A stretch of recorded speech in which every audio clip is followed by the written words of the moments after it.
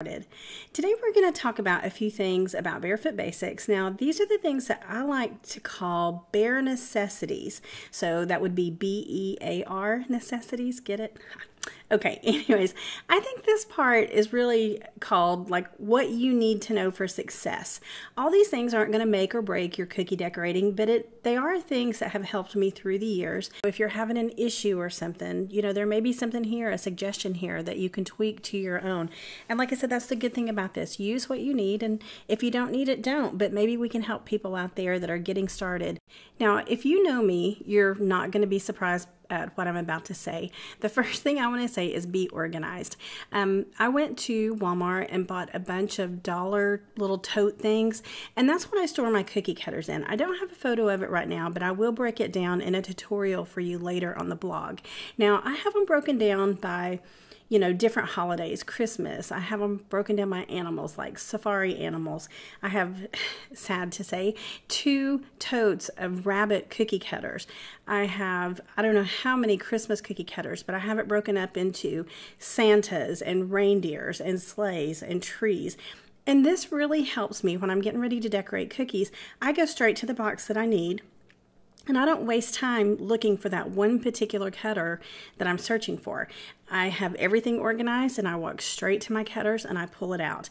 Now, the hard thing is being organized enough to put the cookie cutters back once you do use them. So, um, I usually, you know, collect them for a week or I try to wash them really good. I have a basket that I put them in that's near my cookie cutter closet. And so I, I try really hard to put them in immediately when I'm finished using them, but it doesn't always work. So sometimes I just toss them in that basket, and then when I find time in the week, I'll just go over there and organize, and it just really, really helps.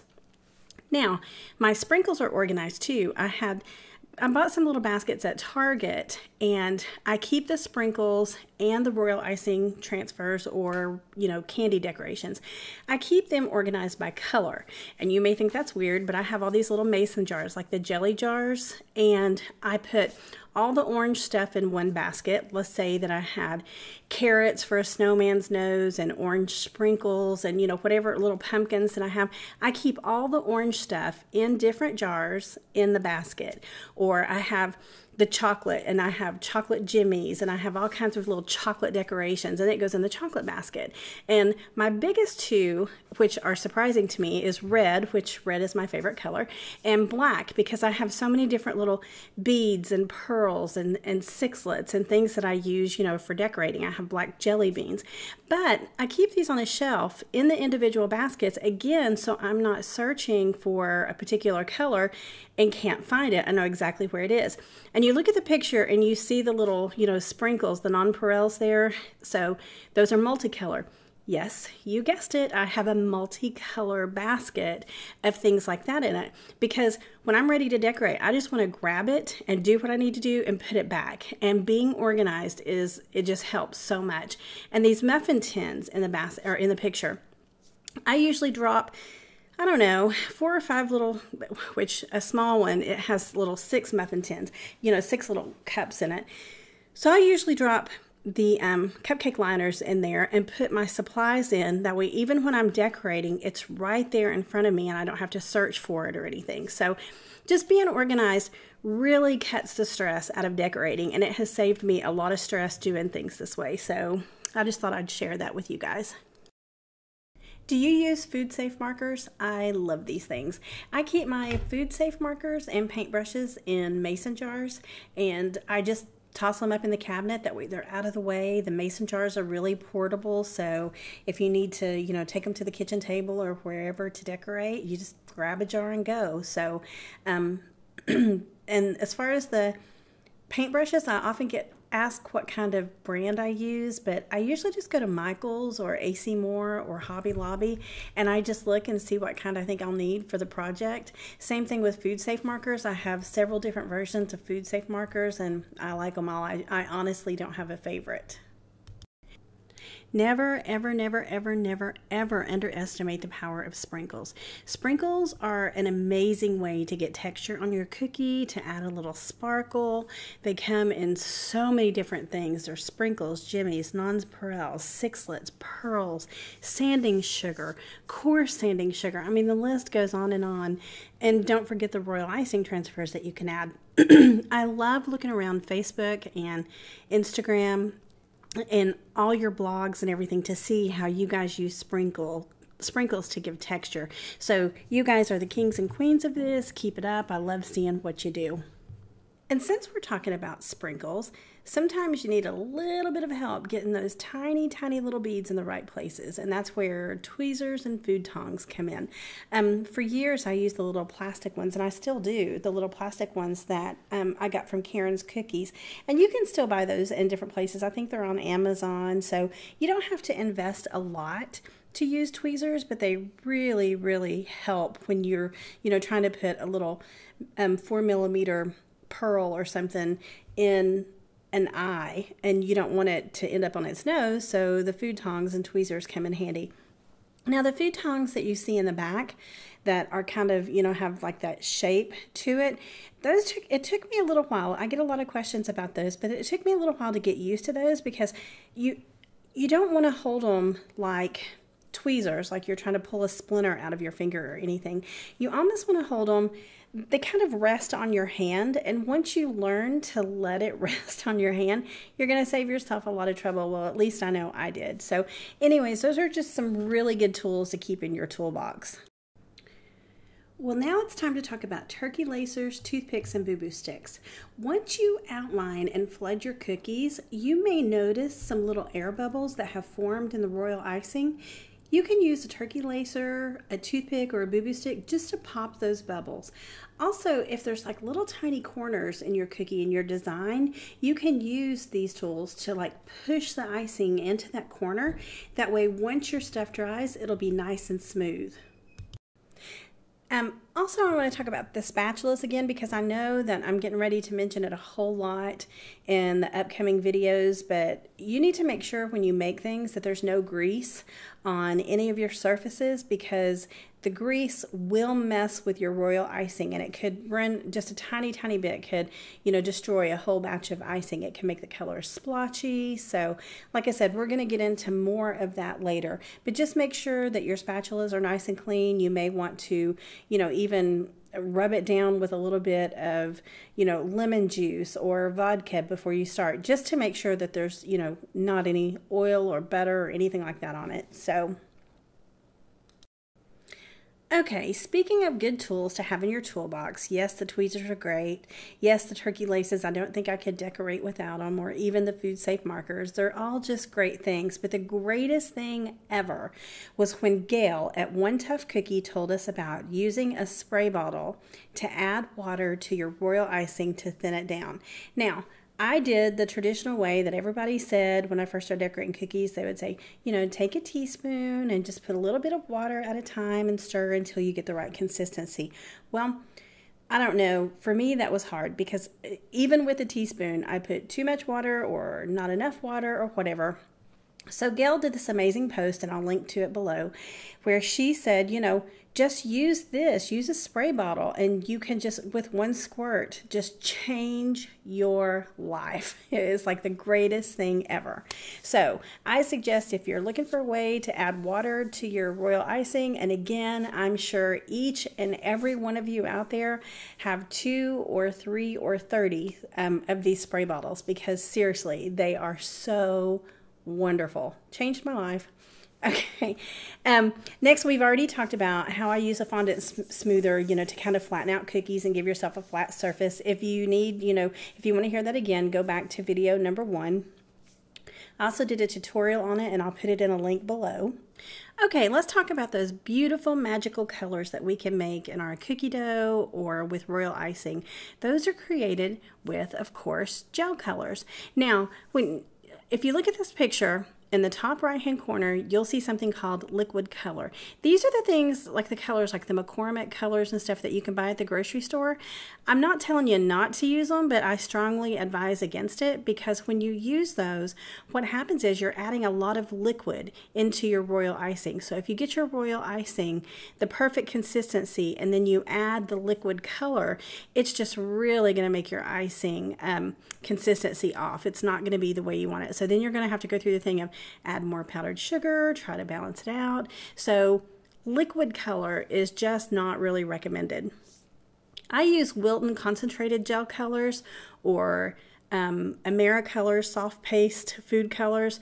Um, I recently got some of the Artisan Accent Gel from um, Hillary at the Cookie Countess, and I really like it. The black has not left a bitter taste. The red is really good. So I haven't been using them very long, but I've used them on several different projects and I really, really like them. So just before you, you know, invest a lot, if you're, you know, a beginning decorator, before you invest a lot, you may really want to look at the different kinds and see what you can get. Get a bottle or something of each and, you know, make your royal icing and see which one you like the best. But try to stay away from those liquid colors. Now, some of you may use them, and that's perfectly fine. Use what works for you. That's the great thing about this. This is what works for you to help you make the perfect cookies? For me, I stay away from the liquid color. Okay, since we've talked about color, let's talk about the color wheel. I know a lot of us struggle when it's time to decorate cookies on finding, you know, cool colors that are in style or really popular right now, or just kind of creating something on your own. You know, you want to make your, your own color. And sometimes it gets really hard and confusing when you try to do that because you don't know what colors go well together and what colors complement each other. That's where the color wheel comes in. It's such a great tool and it's going to do so much more than to show you pretty colors. It can actually help you plan a theme for your cookies. Now, I know that we all know about complementary colors. Those are the wheel those are the colors that are opposite on the color wheel, like, you know, red and green. If you look at the color wheel, you'll see the color red, and if you go directly on the opposite side, you'll see green. Those colors are opposite, and we know they work well together because think about Christmas, red and green. I mean, such traditional colors. Now let's think about orange. Um, what's the opposite of orange? Orange and blue. So, you know, yellow and violet. This will just help you. And anytime you put those colors together, they're going to go well together because they're going to complement each other. Now let's talk about analogous colors. That's when a group of three colors are side by side on the color wheel. So let's take a look for just a second and let's look at yellow. So if you have yellow, then yellow orange and yellow green are going to go really well with yellow. Same thing with red. You can get a red orange and a red violet and they're going to go really well together. So again these are just colors that you know really complement each other and you know you could create a beautiful beautiful theme of cookies you know using these color this color scheme so now let's talk about tints, tones, and shades. Okay, on this color chart, if you look by the violet, you can see the word tint, tone, and shade. And basically what that is, is if you want to tint the color, you add a little white. Tone is when you add a little gray, and shade is when you add a little black. Now, look at the yellow up there. Um, if you add white to yellow, of course, it's just going to get a lighter white. If you add gray, it's just going to kind of mute it or make it a muddy kind of gray. But if you add black, you're going to get an unbelievable green. Yes, it's still kind of a green that's in the yellow family, but it's a beautiful, beautiful green. So tints, tones, and shades will help you develop some colors that, you know, are your own. You can you can just play around with it and find colors that you like. Now, let's talk about um, let's skip over here and talk about the warm versus cool colors. We know the warm colors are like red, orange, and yellow. The cool colors are violet, blue, and green. So if you want to make a winter scene, then you're probably going to pick the violet, blue, and, and violet, blue, and green and try to make something, you know, just kind of look cold. And of course, warm, you think of the sun, yellow and orange. So this is just a good little guide that will help you tremendously with your colors. Now the split complementary colors, let's talk about those for a second. If you look in the center of the color wheel, you're going to see a little arrow. And so the arrow the the tip of the arrow will point to one color such as violet. And then if you follow it instead of going to the yellow to pick an opposite color you can see it's a triangle and you see yellow orange and yellow green. Those are called split complementary colors. And again they go beautiful together. So if you just twist the wheel around and you land on one of these you, you'll see the triangle and you can use those colors to come up with your own color wheel colors. And i mean it, it works fabulously. I mean, you're you're going to have some beautiful colors that really match each other and you're not going to have that one oddball color that you think just ruins your design. So if you practice with this and you learn how to use it, I mean, it can be one of the best tools that you can have. Every time I see those little icing bottles, I just have to laugh because those are the reason that I started decorating cookies. I used to live in Knoxville, Tennessee, and my husband took a position where we moved an hour and a half away. Well, I was trying to be brave, so I continued to drive an hour and a half to work and an hour and a half home. And so it was okay and I did it. It was a little bit stressful because, you know, you just think, okay, three hours in the car, what can I get done, you know, in my day with that chunk of time instead of sitting here driving? So gas went up to 450 a gallon and we decided it was time for me to quit. So I was going to look around where we live now and try to find, you know, a part-time job or something.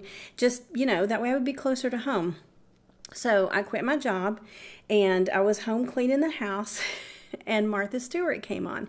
And there was a lady on Martha Stewart called Danny Fiore, and she was showing how to decorate these little Santa cookies. And, you know, it blew my mind when she started to decorate because she pulled out icing bottles. And I thought, oh wow, I could decorate with those. I don't need piping bags and to make a mess and do all that. Those bottles are the neatest things ever. So I sat down and watched the show and I watched how she decorated and she did, she made the cutest little Santa cookie ever. And of course, Martha Stewart said, Oh, isn't that my Santa cookie cutter? And Danny said, Yes, it is, and you can get them at Macy's. So I got up and ran into the kitchen to my computer, went to Macy's, tried to buy the Santa cookie cutter, and of course, they were sold out. But I'm a determined person and I wasn't about to give up. So I went on eBay and I found the cutter. And it was in a set. It was a Martha Stewart's like holiday set or something. So I placed a bid on it and immediately I was outbid by this girl named Bridget. And so I ended up getting into a bidding war with Bridget, which I'm competitive, and so maybe eBay and places like that aren't the best places for me to hang out. but I ended up winning that cookie cutter in the bid, but I paid like $66 for it. And so that is by far the most expensive cutter that I own. And when my husband came home, you know, the day that I wanted or whatever, I looked at him and I'm like, um, yeah, I kind of did something dumb today. he looked at me, he said, What did you do? I said, I got in a bidding war on eBay for a Santa Claus cookie cutter and I ended up spending $66 on it. And seriously, I was really, I hated telling him my stomach was in knots and I was so upset because that is not me. Usually I'm a smart shopper, I like bargains, but I had to have this cutter because I saw Danny Fiore decorate with it and I convinced myself that was the only cutter that I would be able to use to decorate cookies. And so my husband, being the sweet guy that he is, he just looked at me and he laughed and he said, Well, are, did buying the cutter make you happy? And I said, Yeah. He said, Then don't worry about it. So I looked at him and I said, I will make this cutter work for us. It's going to work for us. so the next thing I did was, you know, I bought the bottles and the tips and started decorating. And then I discovered I hated the decorating bottles. And it's not that I hate them because of anything that they do, it's just where I live, the icing separates so fast in it. If you see the blue icing in the bottom picture, it just really separates. well, Sweet Sugar Belle, Callye, has uh, you know her own product line now, and she has these amazing spatulas that are really skinny. And now you can stick it down. You can stick the spatula in the bottle and stir the icing up. Before you would have to shake the icing out, and I just felt like I was wasting so much icing because it separated just in no time. So, anyways, the icing bottles that led me to decorating, I no longer use. I'm trying to get in the habit of using them again. You know, just when I have you know really quick projects and stuff. But I just think it's funny that, you know, what got me started has also I, I just don't even use it anymore. Then right before CookieCon, I ordered some tipless piping bags from Truly Mad Plastics Sharon. And I'm telling you, I am totally in love with these things. So you will see me using those on the blog and stuff more. It did take me a while to get used to them and not be not Sharon's, but just bags in general. The first ones I had had this really weird seam in it. And so no matter how I cut the bag or did the bag, it made the icing come out with like a little bit of a curl to it. So once I found Sharon's, I'm totally in love. Her bags are awesome. So now I use just, you know, regular piping bags and tipless bags. And I'll try to use the bottles more, but I'm not going to promise any. Okay, another thing that we all have a hard time doing is usually writing on cookies. I get a lot of people asking me how to write on cookies. Well, here again, I'm just kind of an odd duck because, you know, I like the traditional decorating bags and now the tipless bags, but to write on cookies, I find myself using the parchment paper cones.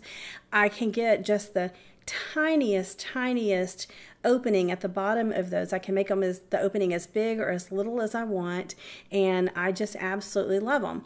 And I'm going to show you in just a second a little video on how to make them, but it's opposite of what you think it would be because you start with a triangle shaped piece of parchment paper. I usually just cut a square and then I cut the square in half from, you know, one corner from a top corner to a bottom corner and it makes a triangle. So you lay that flat on your table and then you pull one of the corners up and kind of fold it under. See in the second photo there how I'm like twisting it under and then you match it up to the top corner. Then you repeat that for the second corner and then you know just fold the fold the little top down. You'll see it in the video here. I'm going to start it for you and you see how you lock it into place. So here I've just got a piece of parchment paper and we're going to cut it into a square.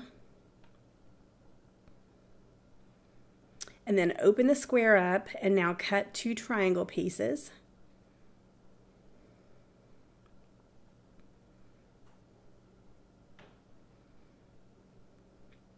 Okay, and there you grab, you know, one of the from the long end and you pull it up to that short one and fold it under.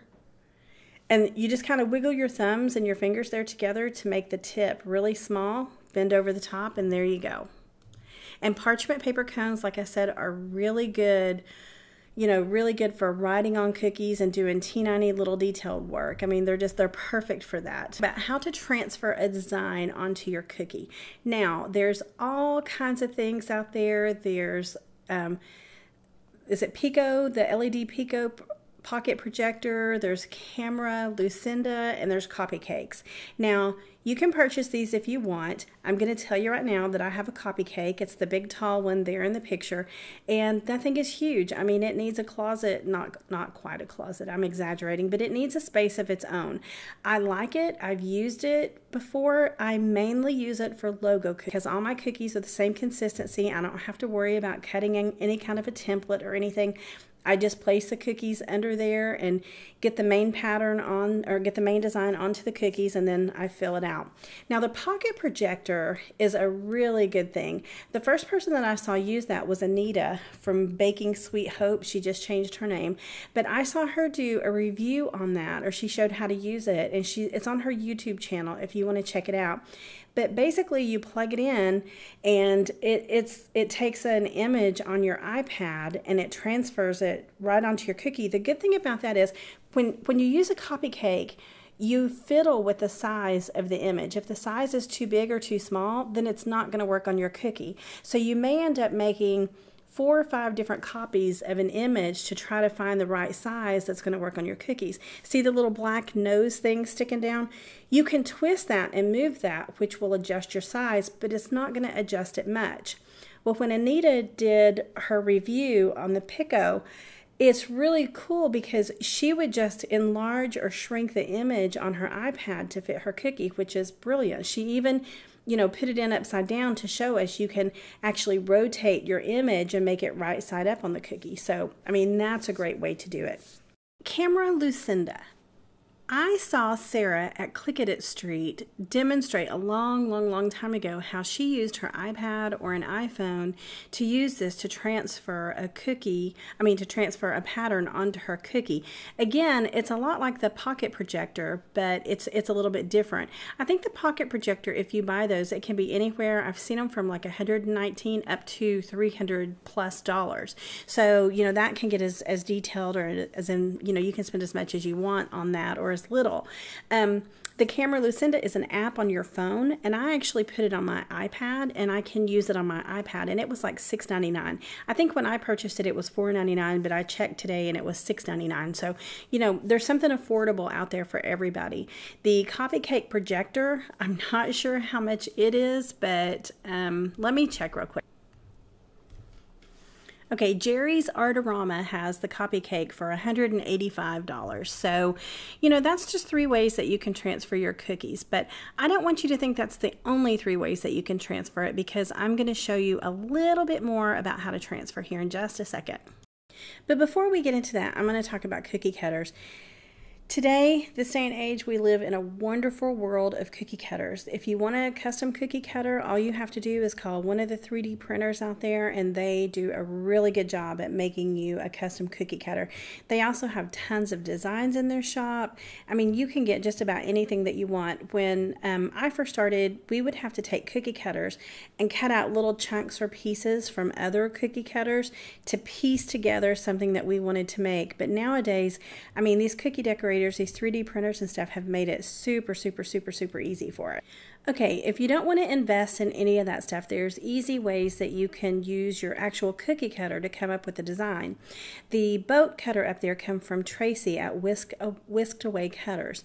And when she sent it to me, because of the little flag on top, I mean, that's the cutest little flag ever once you see her cookie. But when I opened the box, the cutter was in the box upside down, and I immediately saw a turkey face.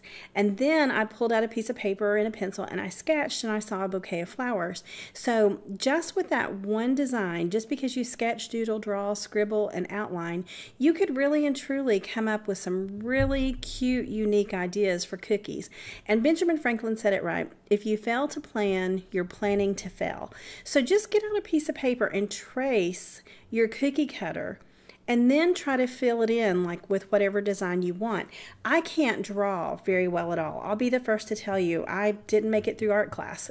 So I can't draw the outside of something, but if I have the outside shape, then for me it's easy to connect the cutter from one side to the other and you can come up with all kinds of designs. Next, I've got a little video to show you, and I'm just going to hit play here. Okay, so this is another one of those designs from Tracy at Whisk Away Cutters. When I got it from her, the cutter, again, when I open the box, Tracy keeps sending me cookie cutters upside down like that because I see different things. This cutter is actually a double popsicle cutter. Well, when I opened the box, I did not see a double popsicle cutter. I saw Spock. So bear with me. We'll turn it upside down. And now do you see him? So I trace the cutter and I cut out the shape, but instead of actually cutting all the pieces off the shape, I left them attached on one side. I knew that I wanted all their pants, um, you know, the same same size, so I left them like that. I mean, I just cut off the bottom and then I wanted the neck in the same place and the hairline pretty much in the same place. So I cut the top off for the hair and then the neck, I didn't separate the neck from the body because I didn't want to mess with two different pieces. So I just cut it over to one side and then it became easy to use a food safe marker to draw the pattern onto all the cookies so that way they were very uniform when I was done just because we made a paper template, which doesn't cost really anything, then you can make the designs and stuff that you want. That way, all your cutters look the same, or all your cookies will look the same. Okay, so there you have it. That was part two. I know that there's a lot of information there again, and I apologize. So I'll be back soon for part three, and it may be the final one in this episode. It may be I don't know, I may be long winded and have to break it down into two shorter ones. So, anyways, thanks for joining me. I hope you enjoyed part one and two, and, and be on the lookout for part three coming up soon.